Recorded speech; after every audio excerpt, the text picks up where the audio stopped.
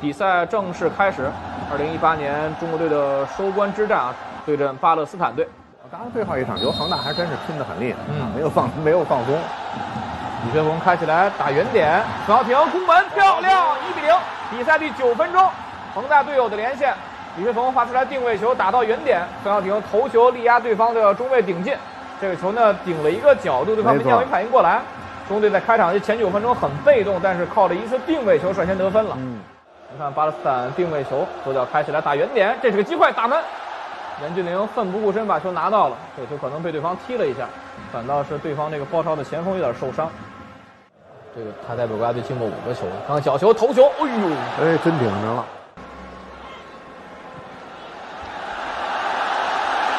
看看这一次吴磊自己摆脱右边路空档给出来不越位，听到停的有些大，能传出去吗？哎呀，对方这队长太厉害了。嗯，你看他往回退的过程当中，他瞄着你有球呢，嗯他就等着你再趟一下，这球大了，我就是我的。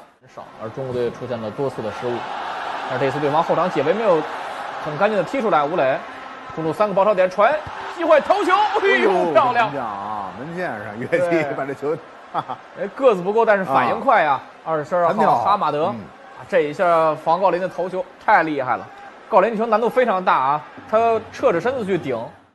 啊，于汉超带球推进，又是一次很开阔的反击局面，打身后这个机会，对方放铲没铲掉，哎哎呀，吴磊踩球车了。嗯，吴磊在投诉有点球，但主裁判没吹。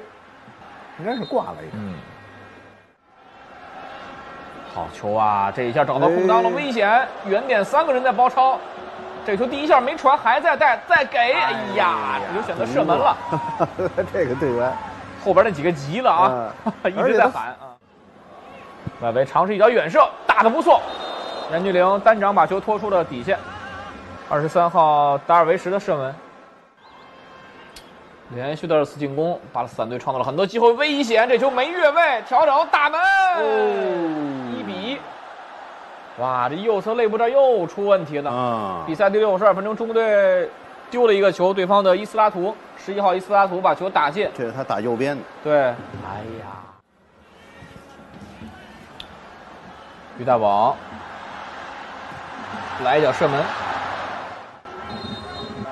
马天江定位球开起来，头球，于大宝，呃，还是顶高了。最后一传，吴磊。把球传好到原点，两个点顶回来。